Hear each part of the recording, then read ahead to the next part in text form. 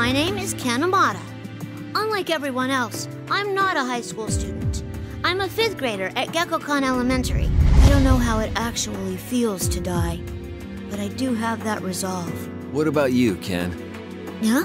Um, what if the culprit is a good person? What are you gonna do? Oh, um, I didn't think that would suit you.